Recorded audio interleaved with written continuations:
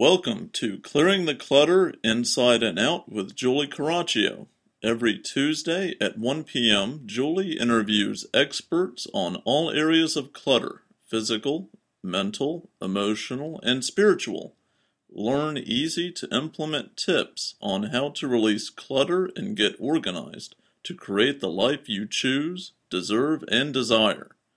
An award winning professional organizer and coach.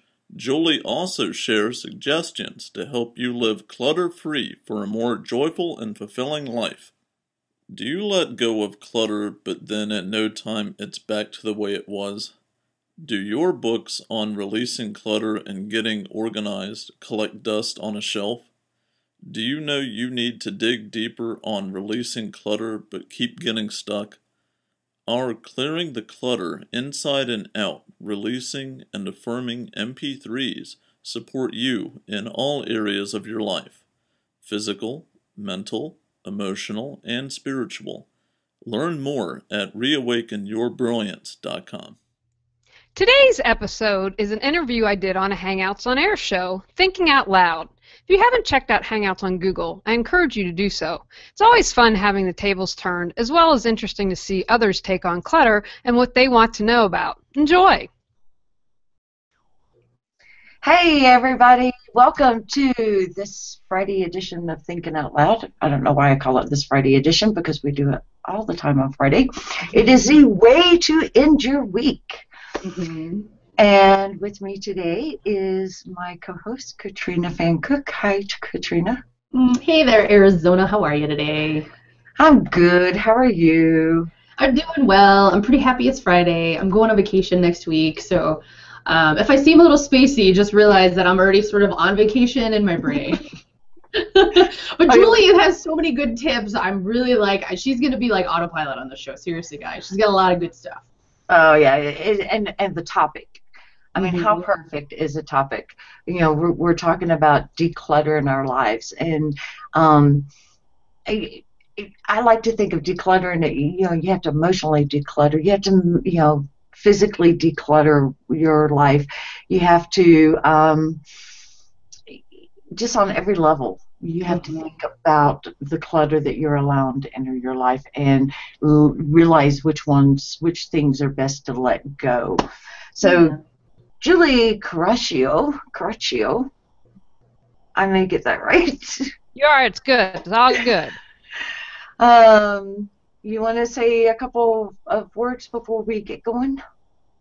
No, I'm excited to be here. Thank you. I sometimes think out loud and get in trouble, so luckily I'll be able to think out loud today and hopefully not get in trouble. And I'm passionate about helping people clear their clutter because I believe when we do that, we can share our gifts with the world, and that's the world I want to live in, and we're not there yet.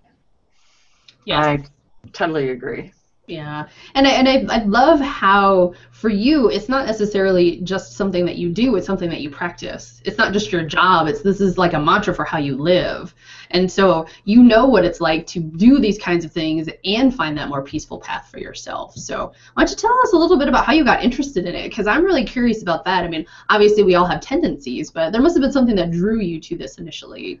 Well, you know, that's interesting. I had been working, my background is in nonprofit. I was a grant writer and director of development, and I mm-hmm. had the worst nonprofit job ever. And I thought, you know, I'm going to go start my business because it can't get any worse than it is now, right?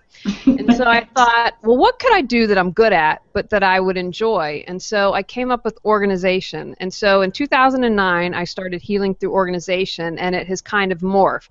I was very purposeful when I named my business that because I saw how organization could help heal people. Mm-hmm. For instance, I had a client who they never ate at the dinner table and she was a newlywed. So when we did cleared the clutter and did that, it helped her relationship. I saw mother-daughter relationships improve. And then in 2011 I started an internet show Reawaken Your Brilliance and it's very interesting. I was kind of setting the, the next stage because I'd have organizers on there and I thought you know what? Clutter has more of an impact. When we remove clutter, that's really it's more about the clutter than the organizing. And you know, people mm-hmm. will talk a lot about physical clutter and mental clutter, but I have added, and I'm sure that I'm not saying I'm the only one, but I'm also very passionate about adding the emotional and spiritual clutter because of the journey I've been on. Because whatever is going on in the inside is reflected in your outside environment. And I think too often we're unaware and we can't change what we don't acknowledge or understand or know. And so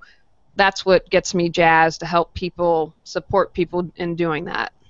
Oh, that's awesome. And I love how your own inspiration kind of keeps you going because, like you said, if the connection for you is also that healing part, it's really awesome to see those people transform before your eyes, like how their life changes when they can actually tune in and, and notice the changes that are going on in their environment because they are multi layered. You know, it does have an impact on your mind, your body, and your spirit when you make those kinds of transitions. Absolutely. And, yeah. Yeah. Well, and I also wanted to to poke around a little bit about the client part of things because obviously you know you you have a podcast and you you also do your show and you have a couple of these other things that you're doing but how do people kind of connect with you initially is it just that you're sort of you're putting out the message that you you are you help them declutter their lives you talk you focus on the healing part like what do you think draws in people the most I would say, well, I think it's a combination of things. You know, YouTube, the podcast, my website. I talk about decluttering your life. If you go at the top, it says declutter your life. And so it's very holistic. And ever mm-hmm. since I mm-hmm. started my business, I've been that way. I would think that the common thread is that people are tired and unhappy. They know mm-hmm. clutter is preventing them from living the life that they'd like to. And so they say something has to change. And because I include everything, the inner and the outer, I think they see the connection. It doesn't matter what level, but th- when they hear that, they're like, yeah, that makes sense. I don't know if I completely understand it, but they understand that No, I need support in moving through this.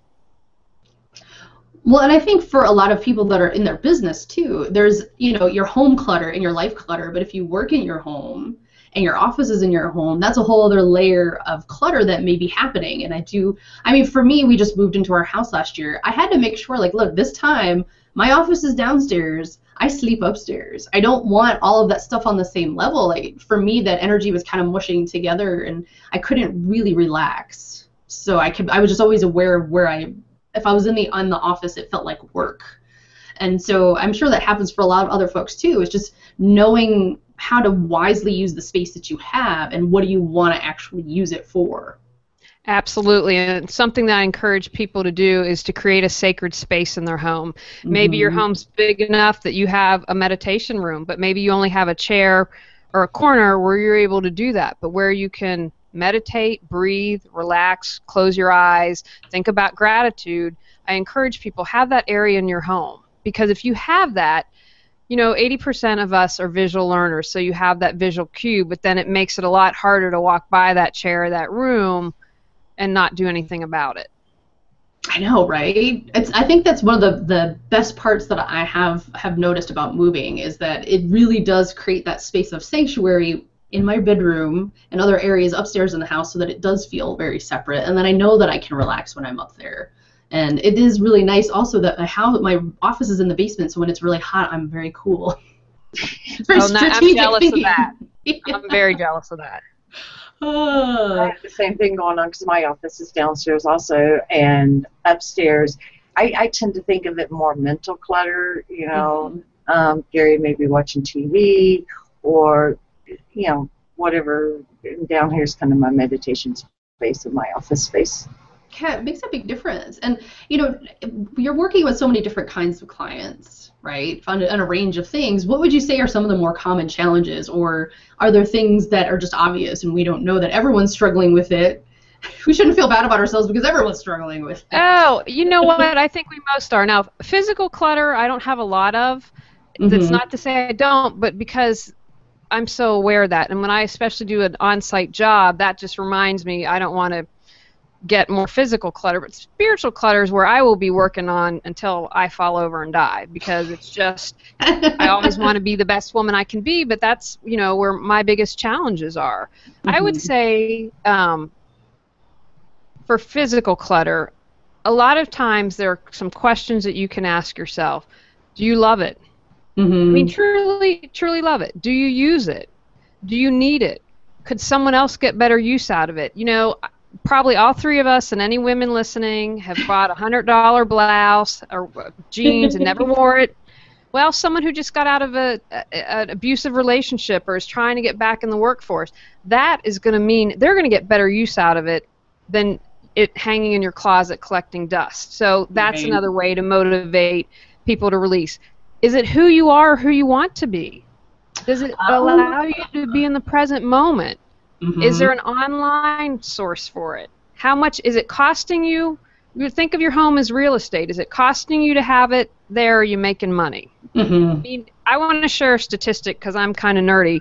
The average home, and again, you know, there are different statistics out there, but the average ha- home ha- in America has over seven thousand dollars of credit card debt, while, or I'm sorry, over ten thousand dollars in credit card debt, while carrying or having about seven thousand dollars of stuff in the home that's not being used. There's Wow. card debt almost eliminated. That is I, I, crazy. I know that we're one of the few countries that actually have, if not the only country, who actually has, you know, people buy all this stuff and then they rent a storage building to store all the stuff that they bought. I know. We spend here. I just did a statistic on this yesterday. America, twenty-two billion dollars in the storage industry, and we went out. My uncle and his partner in town visiting, and we went out to dinner. And our waitress was from Vietnam, and we ended up having this interesting conversation with her. And she said, "Oh, my parents are now in the Netherlands." And she said, "What are we doing in this country? We work all the time to Mhm. buy stuff that we don't need, to go to Black Friday to beat someone up." To bring something home, we're going to put and stuff in our closet. And I thought, you know what? She summed it up pretty nicely. Right. Right. Yeah, Well, and- really. and, the, and shopping wisely. It's like use that same mentality when you're going shopping. Will I use this? Do I love this? Like those same questions are extremely relevant when you're actually purchasing something too, not just getting rid of it. Well, another thing that's helped me when I'm because I mean, you know, women buy outfits all the time, just like you mentioned. But if I buy an outfit in the store, I think, what outfit am I going to get rid of in my closet? Mm-hmm. Or what shirt am I going to get rid of? Because if I bring a shirt home, something's got to go. Yeah, I like that idea. And plus, like, you, it helps you sort of manage the clutter as you go. Absolutely. If you bring something in, get something out. And you know, the other thing you touch on a great point. I like to talk about your clutter kryptonite. And so you know how Superman, uh, kryptonite, and I fall over. Yeah. Learn what your clutter kryptonite is. I'm just talking for physical clutter for the moment. Now, for Mhm. me, it's beauty samples. Uh, I can lose 10 pounds. Give me a sample. Get rid of the wrinkles. But if Mhm. I'm not aware and paying attention, I have a drawer full of beauty products that are probably going to go bad. So I know, okay, that's my kryptonite, and I have a plan. I'm going to not go by the beauty counter. I'm going to bring my husband with me. All these different things I can do, and it's the same with leopard print. I love leopard print. you know, I could probably own five million things in leopard print, but I'm like, okay, no. You have a pair of Mhm. shoes. You don't need another pair of leopard print shoes. But because I'm aware of it, then I have a plan in place, and it makes it easier to not have the stuff come in. Yes. Well, and I actually have a very interesting question for you. It just popped into my head. Men and women versus each other in clutter. How do you how do you think that usually plays out? That's a very interesting question because 95% of my clients are women. Mm-hmm. Um, you know, women are mainly majority are running the home, taking care of the home. Not everyone. Mm-hmm. Um, so I think that women tend to, to get more physical clutter, I would say, than men. That's just my. But you know, and I would also say there's certain areas. Like my husband is one of these guys that can do everything. He knows how to lay tile. He knows how to paint. He knows how to redo floors. It's nuts. So he has a lot of tools, right. but he uses them and Mhm. takes care of them, and so they aren't clutter. But there are areas that men would tend to be more challenged in and get more clutter. Is that's how I'd say it? It's t- if that's were to give a general statement. hmm Yeah, I would agree with that. You know, my um, my partner Chuck is a he's a software engineer, but he's also always messing around with computer hardware stuff. So whenever there's an older computer that he's not using, he doesn't throw it away. He's like, I might need parts for that. Right. But yeah, how he chooses to store it wouldn't really be my choice. But it's in his office, so it's he has the space. He can do with it what he wants with it. It's just not how I would have my space. But you have to respect your partner's wishes to have their office or their space however they have it. You have, you know, it's a balance. When I work with Yeah. couples or families, and the thing I say is, I don't consider myself a minimalist. Like we have a cat, So we have Joey's stuff probably in every room. And a minimalist or someone who is like Martha Stewart, they might see that as clutter and trash. We don't. He's a part of our family. But Mhm. you have to, if nagging, if it becomes about nagging and being stressed all the time about clutter, then you've gone a little too far. And so if it's in, you know, your partner's area, again, like I would always check in every six months, a year. We do an annual purge. I've done an annual purge before I was ever an organizer, and I'm a firm believer in that. Mhm. You know, you have to have some leeway because you're going to create emotional clutter if you're always fighting. Yeah, I know. That's why wait, they're like, okay, that's your office. You can put whatever you want in it, and I can't say anything about it because it's not my office. Right, right. Well, I wanted to, to interrupt, and uh, Katrina had asked a wonderful question to the Thinkables, our audience, um, about what the biggest challenge is with clutter and how does it make you feel. And Ron Snaberger, I, I would put him up, but all of a sudden my lower third vanished, which means I can't display him. Uh, Ron Snaberger says clutter can make you feel anxious, raise your blood pressure, among other health problems.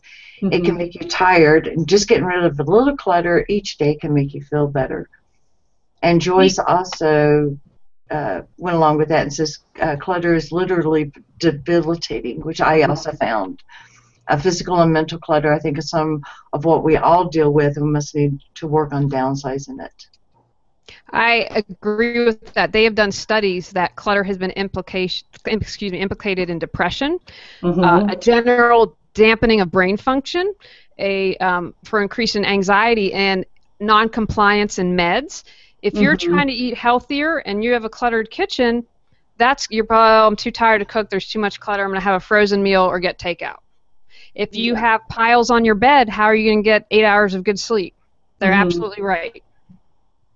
Yes. Well, it's funny. Um, this earlier this year, I got one of those little settees, those little benches that you put at the end of your bed, and that's where all my clothes go. So I'm like, well, I only wore this for two hours. I'm just gonna put this here. And then by day four or five, it's growing. But that's like my one thing I know I do. And it's funny because I mean, from what in talking with Julie, she's like, look, it's not about not doing anything and, and managing your micromanaging your clutter. It's about saying, hey, this is my deal. I know I do this, and that's why I loved how you told the story about the beauty products, because that's what I do with my clothes. Is like by three or four or day five, it's like the clothing pile just gets bigger. Well, what I would say to you, I do the exact same thing because I hate doing laundry. So if I've worn it for two hours, it's going on the bench. But by day five or six or the end of the week at the latest, everything's hung back up. So if you don't do it every day, that's okay. But commit to once a week. Yes, I definitely do that. And I was kind of bummed because I had to run somewhere this morning, and I was like, hey, I'm gonna put this dress on. I'm like, and it's wrinkled because I didn't put it away. I didn't hang it up. That's my own fault. Now, Jeremy Murphy in the audience has an interesting comment that I had never thought of. He said multitasking creates uh, slash contributes to more physical clutter. And that's not even getting into the mental clutter. Now, I totally agree that multitasking causes mental clutter, and you can't, you know, be very mindful. But I never thought about it causing physical clutter. I love this hashtag multitasking madness. Yes.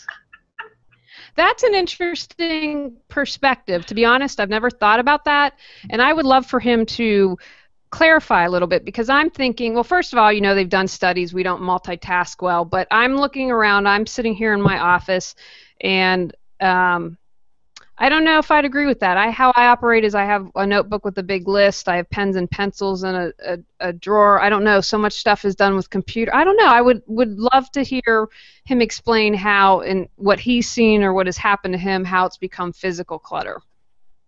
All right, Jeremy, you got a shout out. it's time to put it in the time to put it in the stream. But you know what? I think that is I what I love about that is that's an awareness for him. If that's how it's affecting him physically, he is aware of it. So then the next step can happen that you can clear it. Well, and that's one of the things that I really loved when we discussed the show last week was that you you allow other people to define clutter. You're not Mhm. defining it yourself. Um, you know, I- because you know y'all are fine with having your clothes laying around. Personally, that would drive me absolutely bonkers because I'm OCD according to my kids. So But it's it's individualized, and you know that's Yeah. a mistake people read. They'll read a magazine or read a book and say, "This is how I have to do it." No, you don't. Mm-hmm. It, you have to fit your personality, your lifestyle. You know, like I talked about Joey having stuff in every room. Well, that fits us in our lifestyle. That someone else, like you, might be like, "Oh my God, cat toys everywhere! I couldn't handle it." It's really it's up to the person. It really is. Well, and I think that people also read that material and then they start judging themselves and they feel bad about where they're at and they can't really understand or figure out how to take that next step towards, okay, well, I know I'm not happy with what I'm doing, but I don't know how to change it and I kind of feel bad about that. I, I can imagine that happens quite a bit. Oh, I agree with you. And I just was talking with someone about asking for support Mhm. because I think we are raised to believe we can do everything on our own. It's uh, we're the rugged individual, and it's it's bad to ask for support. And I completely disagree with that. You know, we were laughing. I was having computer issues. I'm I'm not a computer person. That doesn't make me stupid, but I asked for support. So if that's not your area of strength, it's not a weakness to say, hey, you know what, I need some t- support. Mm-hmm. And not to judge yourself that, like you said, when you're reading in this book, if I'm going to be clean and not have clutter, then it has to look like this because, yeah, that puts a lot of extra pressure. You know, I, I see, and she's probably going to come after me someday, but I use Martha Stewart as an example. You know, that is, Mhm. I, but I see a lot of people who strive to be like that, and it's not realistic. You don't know that she maybe sleep. I think I read somewhere she sleeps four hours a night. You know, but she has a staff. That is her life. Most of Yeah. us have families, have jobs. We're running businesses. I'm trying to cook healthier. That takes time. So it's not realistic. It's it's kind of like reality TV. It's Mhm. just it's not how the real world works. Right. Well, I mean, and do you think a lot of people sort of have? Do you like talk with people about a clutter-free plan? Because I think, like you said, every room is different. Like for me, yeah, I walk into the kitchen and it's super cluttery. Then I'm just like, ah, this is too. I want to just go eat out because I don't want to be in here right now. So I totally, when you said that, I could totally relate with that. But you know, maybe for a different room in the house, I have a completely different level of okay with the clutter. Uh, yeah, when I um I had put together my course, and that's one of the things I do. And one of your exercises is to go room by room and evaluate it because you're going to have a different level for everything. Most definitely, yeah. This is deep stuff, people. See, it's right in front of you, and you don't really realize how much it's affecting you. I mean, seriously. It Well- does. Well, I mean, I want everyone to just, if they are able to, not if you're driving, close your eyes for a moment and think about being in a room, whether it's in your home, in your office, or a colleague. Think books like piled high, papers everywhere. You can feel that. And then think Mhm. about being in a room where there's no clutter. I'm not saying there's nothing, but everything's stacked neatly. It's in its home. It's in its place. You can literally feel the difference in the energy of of rooms. And I'm betting you're going to want to be in the clutter-free room, especially if you're being creative or working or doing something. It makes a huge difference. Yeah. Well, and even with pets, I think pets are a good example of that too. I mean, they can add clutter to your house, and that's okay too. For us, the house we moved into, the bathrooms are a little smaller. And I was like, okay, first things first, we moved into this house. The first thing we did was put a cat door into the garage. So the litter boxes were outside in the garage, and it was life changing. Like, we just couldn't do that on the other house because we were renting, even though we wanted to. And it's just been so nice because it's just clutter that's out of the way. Yeah, you got to go remember scoop the box, but still, it's just it's it's a different place and it feels so much better. It does. I mean, it, that's one little change that you made, and see how it had a Mhm. huge impact. Yes. And yeah, I don't need my cat, my kitties to be in there hanging out with me while I'm using the bathroom. Right. exactly. Uh, Jeremy Murphy got back on the multitasking. He says multitasking is a strength and a weakness. If you're highly productive as a writer, reader, you're dealing with lots of paper, blog posts, book manuscripts, notes, and how do you Mhm. organize all this? Use Evernote for writing to keep the paper volume down a bit. When clutter becomes a form of self expression, we know we've gone too far. Oh, he's wow, very great. What a tip that I give to a lot of creative people is do you know how if you're in an office you have one of those mailboxes that has slots for everyone? What I mm-hmm. like about those is so if you're a writer and you're working like I I get that. I have three different projects right now, but I'm able to put everything related to the project via slot.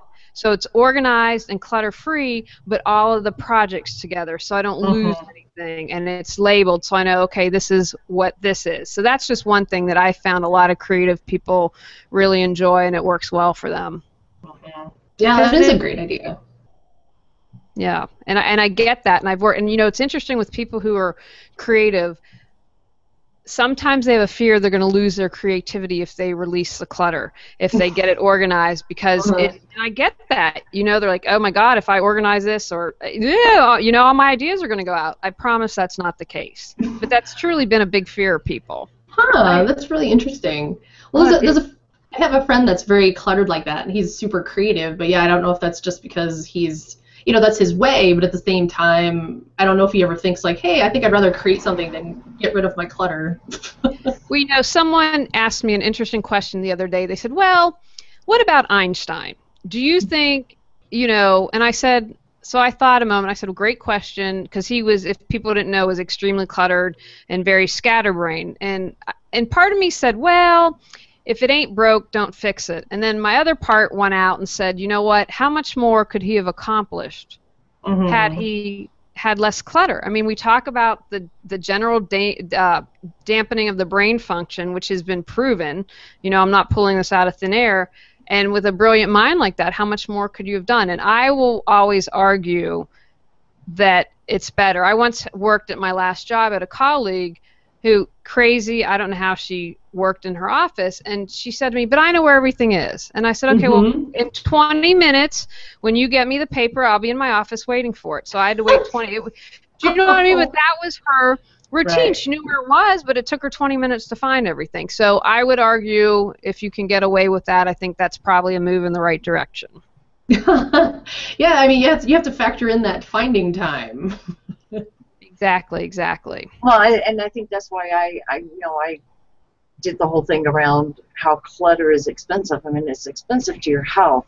That's Mhm. that's first. It's, it's expensive to your peace and your joy. Um, but it, you know, it's expensive in time and the time that you waste trying to find things or trying to deal with the mental clutter. Mhm. oh my What- gosh yeah Yeah.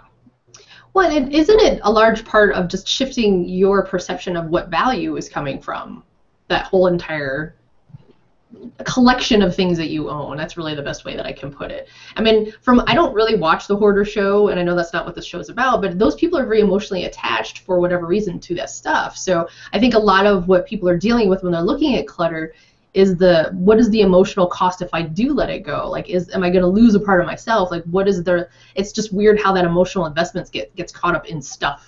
it's a fear. Now, first of all, I want to say about hoarding, there is a psychological trauma that has happened. You know, I'll give you an Mhm. example. This is a woman wasn't a hoarder, but when she was a child, uh, the parents came in and gave all her stuff away, and, and including stuffed animals. So she was in her 40s and had a bunch of stuffed animals because of that trauma that happened as a child. And again, not hoarding, but um, you could see how an experience like that in childhood could shape her in adulthood. Um, the other thing is, if everything has value, then nothing does.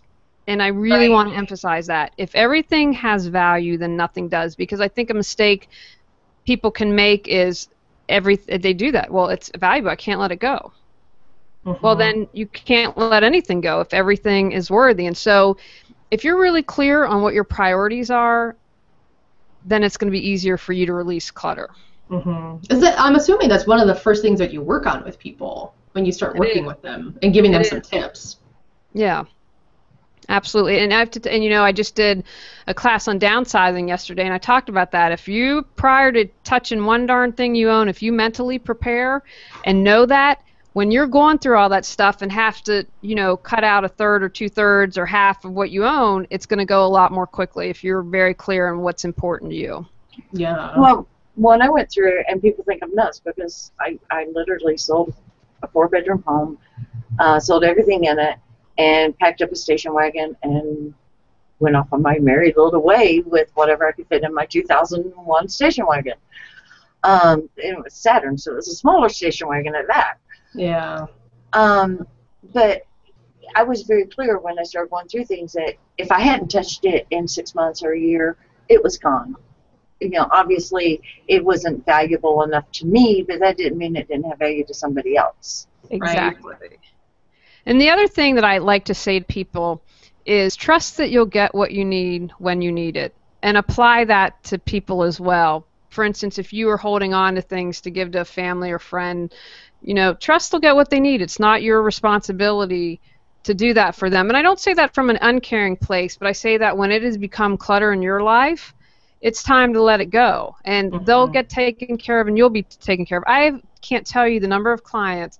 Oh, how long have you had that? 10 years. Have you ever used it? No. Well, would you consider letting it go? Well, I might need it someday. Mm-hmm. So if you have that faith and that trust, that makes it easier to release things. Yeah. Well, and it's funny because I even when I go shopping for clothes, I'm very very clear when I'm shopping what I'm looking for because of the what you just explained, but also because I'm really lazy and I don't want to go back to the store. Like if I, to me it's like I've done this, I've crossed it off my list. I don't want to have to go back and exchange something that I don't like. So I'm just very mindful when I buy things that I, am I going to use this for a long time? Like my bike that I have, it's a Trek, it's a mountain bike. I've had that bike for 20 years. I bought that bike before I moved out here. I still ride that bike. Like I just, I'm that kind of weird person that. No, that's amazing. Yeah. I think that's wonderful. Yeah. And you know what? A tip that I think is really helpful. I don't like clothes shopping, um, and what I did is I went and saw a stylist who showed me what colors look good on me, what styles, and so because going into a store was really overwhelming for me. Mm-hmm. But I know, okay, this is what looks good, this is what I can buy, and it's made the process a lot easier. Oh, nice. Yeah, I definitely like shopping. I just know that I'm very mindful of will I wear this? Because again, you're just dragging it around or moving it somewhere, having to store it somewhere, and it just becomes extra clutter and something else I have to worry about. So I, I have had a couple. a couple of clients with homes literally I'm not literally homes full of clothes, meaning taking Oy. every room up, taking a basement, yeah, and many with the tags still on. That's crazy. That is totally crazy. Um, now, what yeah. about like okay, so when I was raising kids, I had six kids, and well, my son always got new clothes. My girls didn't. It kind of depended mm-hmm. on where they fell, and I would, you know, carefully pack things up and store them in your opinion, would it have been better to, instead of storing them, to, you know, just trust that it was going to come along? I say trust because storing items out of sight, out of mind. Mm-hmm. If we don't see it and it's stored somewhere, I mean, look at Storage Wars. I don't know if people have seen that show, but these are people who have their storage containers are given up because they haven't been there or haven't paid. Mm-hmm. I, I, I really believe that if it's out of sight, it's out of mind for most people. Now, something that you can do is take a box, put the items in it, date it, and check it in six months or a year. If you haven't used it, let it go. Mm-hmm. So you haven't gotten rid of it, but you're putting a timeline, saying, okay, this is, and then I'm going to honor that. I would think that it's really hard for people that have kids because they always they like to hold on to those nostalgic things. They always wonder like, well, am I going to have another baby, and then what if I give it away? then I won't have this and I'll have to buy it again. So I, I see that a lot with families. Yeah, and you know what? I completely I can completely respect that, but is it stored? Is it clutter free? If you have a whole room full of clothes, I'm going to argue that the kids don't need that many clothes. And then again, you know, I work with people where they are, but I'm going to say you got maybe got hand-me-downs from your sister. Trust me, you'll get the hand-me-downs again when you give them to someone else. Yeah. Absolutely. Well, and then for for different rooms in the house, like do you kind of have the same philosophy of approaching every room the same? So once someone has their priorities set and once someone has an idea of what they're looking for, is it essentially the same sort of formula that you kind of teach them to use in every room, or is that still kind of change a little bit too? I would say there's a general way mm-hmm. that I do things and suggest people that do things how they would do it and go about it, but it's it's it's going to be the same pattern, I guess, for lack of a better word for each room. But again, it depends. What are your priorities? What are your lifestyle? You know, what's important to you because that all plays into it. Yes, that absolutely does. And the lifestyle piece, especially, because, like you said, there may be something that maybe you did like to do, you ski two, 10 years ago or five years ago. If you're not skiing, yeah, that's just taking up some space. Right, let it go. And then you need to ask yourself, you know, I'm fine taking a half an hour. I had to clean a half an hour before my relatives came. I'm Mhm. down with that. Someone else feel, might be like, you know what? I need to be ready for if anyone drops in company, I don't have to do a thing. Well, then there, you know, then we're gonna have approach it differently and do things a little differently if that's the case. Oh, I see what you're saying in terms of the priority. I gotcha. Yeah. For clients. And that is a good point. I don't like surprise people in my home. I like to know they're coming. It partly is because of the clutter, but just as an energetic, an energetically sensitive person, I don't like people just showing up at my house because I need to get grounded and, and sort of balance that a little bit. So I think I'm pretty sure everyone has their own priorities. I'm sure there's other people, other clients you work with that are similar to that too. Oh, absolutely. And I'm the same way. I'm very particular about who I have in my home. Mhm. and that yeah so I, I completely understand that but you know there's a way that you can work with that and that's why i mentioned earlier have a place of sanctuary for you i think that that is so important no matter what your beliefs is your Mhm. religion spiritual whatever it is i think that everyone benefits from that Yeah. Well, I mean, in terms of just watching some of the clients go through transformation, like how have you seen them become more peaceful? Because that's really ultimately we're all trying to get to our own part, our own definition of what peacefulness is, our own sense of of mindfulness, so that we can operate every day and feel relaxed in, in ourselves. And you know, it's always interesting to hear some stories. So, do you have any cool stories of, of transition for people? I'll try to think of some. I'm just something. I'm just going to say what pops in my head. So I once had a client that she had a stack of papers up to here, and I said, "Okay, what are these? Okay, those are articles and stuff I'm going to send to people. Okay, how long have you had it? Two to three years. Okay, so then we begin digging deeper." And she said, and she was able to articulate, because here's what I believe everyone has the answers within them. I see my job is to support you and to bring them out. You have your own wisdom. I'm just kind of there to Mm-hmm. to help light the way. And she said, so we continued to talk, and she said, she started to cry, and she said, I'm afraid that if I don't send them and keep in touch, they won't love me anymore. And as soon as she said that, she was able to really, you know, that's false. That's not true, and let everything Yeah. go. And Oh. I had a, you know, I mean, that's a big step. And then I had another client who had a, um, what's the word I want to use, a stressed relationship with her mother. And every time her mother would come into the house, she'd complain about what, how she couldn't keep house and everything was cluttered and would Mhm. nag, nag, nag. And when we got all the clutter and got it organized, their relationship improved and became a better relationship and became more peaceful. And it wasn't like this every time her mom was going to walk through the door. Right.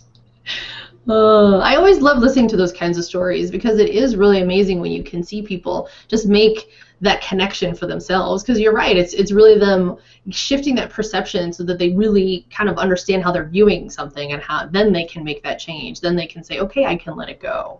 I had a client that I got ended up getting into coaching, which you know wasn't the original plan, and and what I really love, and what happened with that, I was in a, a client's home. I went to see her, and she said, "Just talk to me." And I said, "Okay." So we started to talk. She brought up some some heavy duty stuff about a sexual assault, mm. and so for about three hours we talked, and I listened a lot, and then for the past, then maybe an hour, 45 minutes, we worked on releasing clutter. And I get home, and in a couple days, she emailed me, and she's like, "Come back, but this was great. I want to talk." And then, I, because once I talked with you, I was able to go and let go of the clutter. Oh, that's Because that was, awesome. you know, a different way of reaching the same endpoint, but that it, it worked for her. Yeah, and because you sometimes you, I mean, there's such an emotional component to it. You can't just dive in there and be like, strategy, strategy. Let's let's get into action mode. You have to understand why this person is holding on to this stuff and really help them shift that for themselves. Because then you'll be there every year. Right. They won't ever learn how to do it themselves.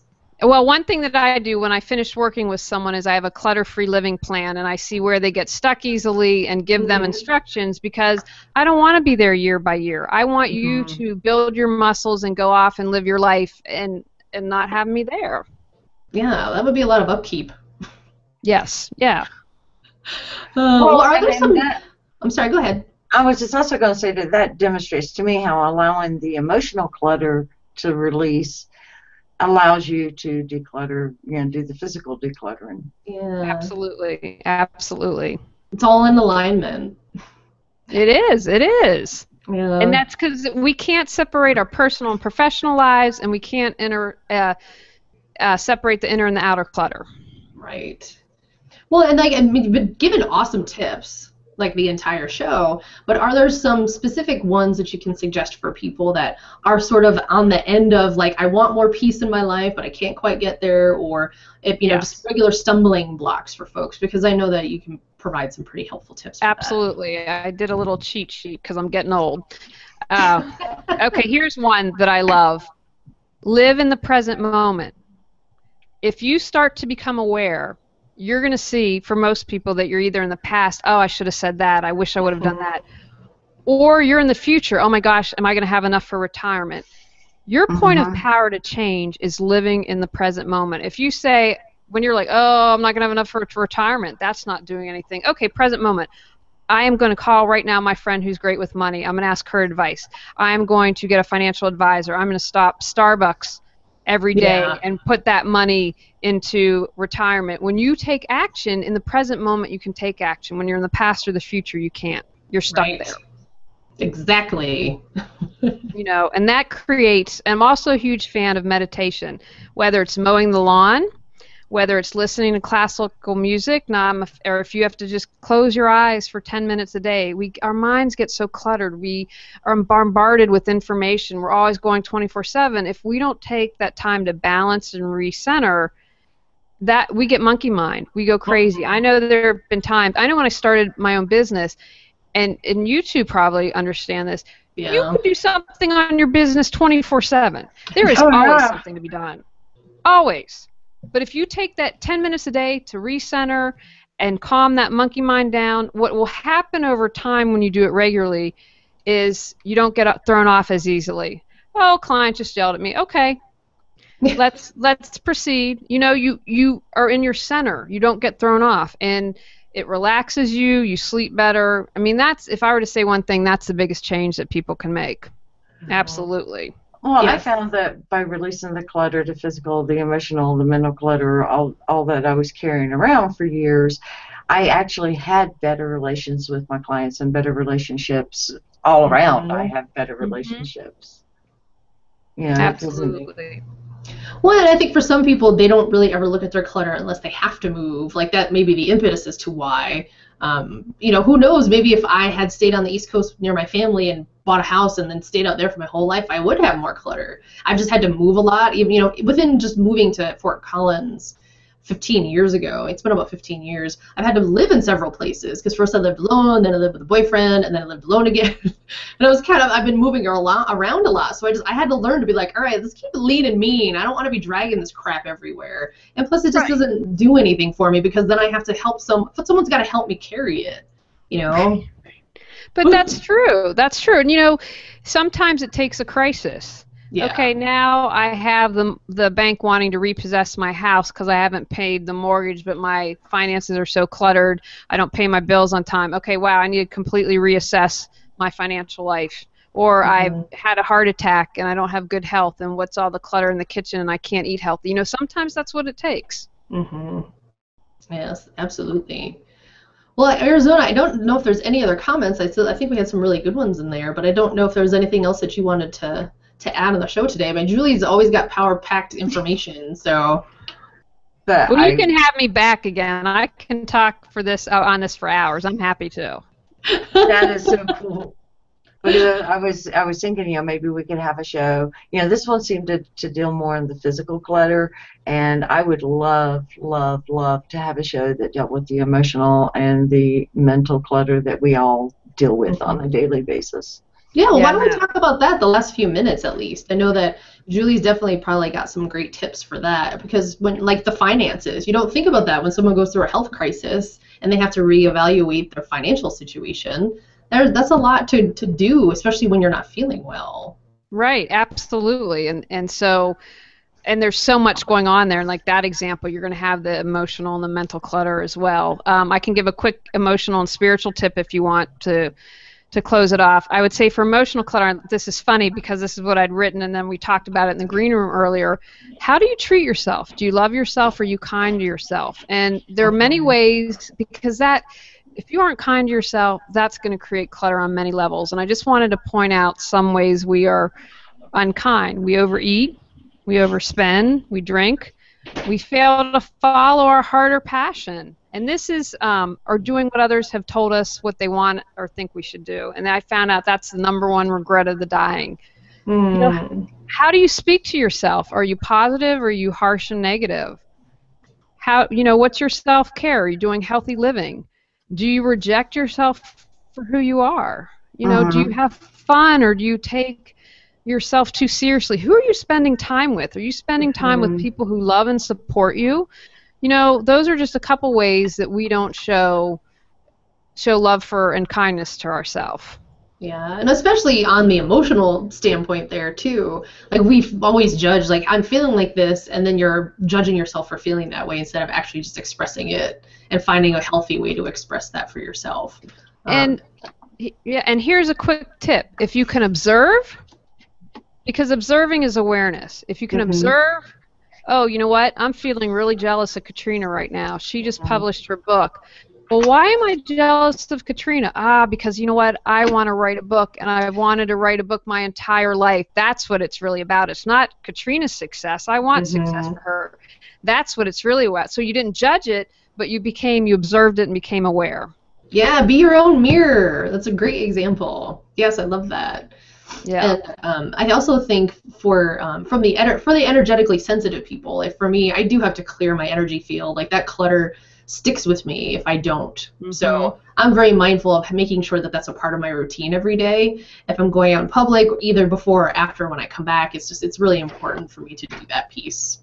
Yeah, that's excellent that you do that. That's huge. Yeah, I notice I don't feel very well when I don't. So after after a couple hours, my body's like, "Hey, I think you may have forgotten something." If I Right, but see, you're aware of that, and so Yeah. you do that as a regular practice, and you don't your aura doesn't become cluttered. Yes, Mhm. exactly. I had to learn that the hard way, but I'm really glad that I do, and that I'm aware enough that I can tell in the moment, like, yeah, I need to do something different. I need to do. I need to make a little shift here and kind of go do my chakra balance. There you go. Excellent. No, I, I believe in it. You know, you're speaking my language. I absolutely think that's important as well. Yeah. I don't know, Julie. You're always so fun to talk to. This show flew by because you, like I said, had always really, really good insight to all these different situations, and it sounds like you're really enjoying helping people in this way. I mean, it's a very meaningful work for both ends of the equation. So It really is. It really is. I feel blessed to do it, and you know, when you're living your passion, hmm people feed off of that, and that allows them, maybe if they're hesitant or don't know, no, I can do this too. Yes. No, I love that. I love that. I love that. Well, I didn't know if um if Julie had anything else coming up that she wanted to sort of promote, or if something in that vein was happening. Uh, Yeah, just really quickly, you can find out more about me at reawakenyourbrilliance.com. I do a podcast called Clearing the Clutter Inside and Out, iTunes, Stitcher. It's Tuesdays at 1 p.m. and it's also on video at 9:30 a.m. And I just uh, published my first course slash book called How to Declutter Your Life, and we look at physical, mental, emotional, and spiritual. And you can either get that or get the mini courses of each area. And it's really about um, taking it step by step and foundationally building that strong footing so that you can continue to clear clutter and I'm that's my biggest thing that I'm excited about and thank you for having me on the show I love this and love you all are thinking out loud and you know putting different perspectives out there for everyone to hopefully at least mull stuff over Yes, thank you. And it was it was great having you today. okay go out clear some clutter to create the life you choose deserve and desire Do you let go of clutter, but then at no time it's back to the way it was? Do your books on releasing clutter and getting organized collect dust on a shelf? Do you know you need to dig deeper on releasing clutter but keep getting stuck? Our Clearing the Clutter Inside and Out, Releasing and Affirming MP3s support you in all areas of your life physical, mental, emotional, and spiritual. Learn more at reawakenyourbrilliance.com. Thanks for tuning in to Clearing the Clutter Inside and Out. Sign up for our newsletter and receive a free copy of 10 clutter free living tips. Ready to create the life you choose, deserve, and desire? Learn about Julie's coaching, ebooks, online monthly decluttering classes, how to organize your life, office hours, and her unique clutter free living mastermind at reawakenyourbrilliance.com. You can also watch all episodes on YouTube or download on iTunes and more. Join us next Tuesday at 1 p.m. Remember, the journey of a thousand miles begins with one step.